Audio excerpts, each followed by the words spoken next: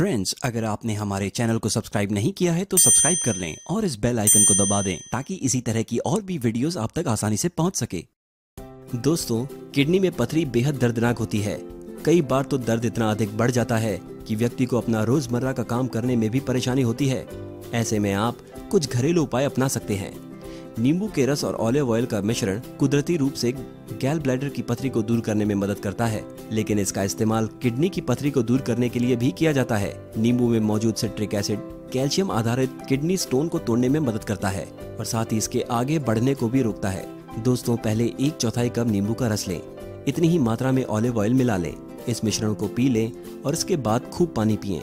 दिन में दो तीन बार ऐसा करें। अगर पहली बार में ही किडनी स्टोन बाहर निकल जाए तो आपको इस उपचार की ज़रूरत नहीं होगी।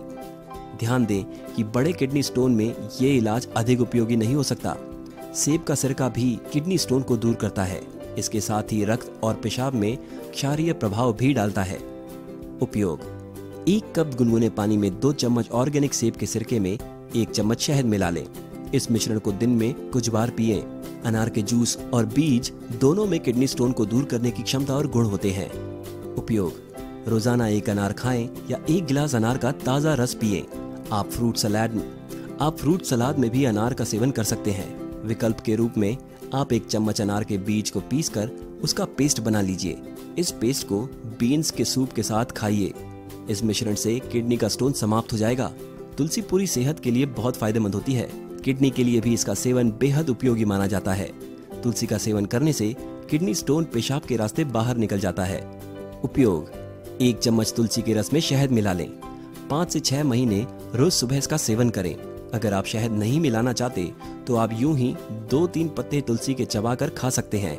आप चाहें तो तुलसी की चाय भी पी सकते हैं। उबलते हुए पानी में पाँच छह पत्ते तुलसी के डालकर 10 मिनट तक उबालिए। इसमें एक चम्मच शहद मिलाइए। ठंडा होने पर इसका सेवन कीजिए। तरबूज भी किडनी स्टोन को दूर करने में मदद करता है। तरबूज में कैल्शियम और मैग्नीशियम बहुत मात्रा में होता है।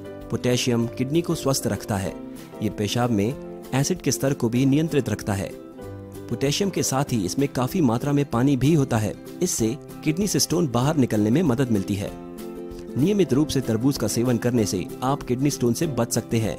आप तरबूज के बीज भी खा सकते हैं। इस उपचार को आजमाने से पहले डॉक्टर से ज़रूर बात करें। अगर आपको हमारी वीडियो पसंद आई है तो इसे लाइक और शेयर करें। इसके साथ ही आप हमारे चैनल को सब्सक्राइब कर लें और इस बेल आइकन को दबा दें ताकि इसी तरह की और वीडियोस आप तक आसानी से पहुँच सके। Thank you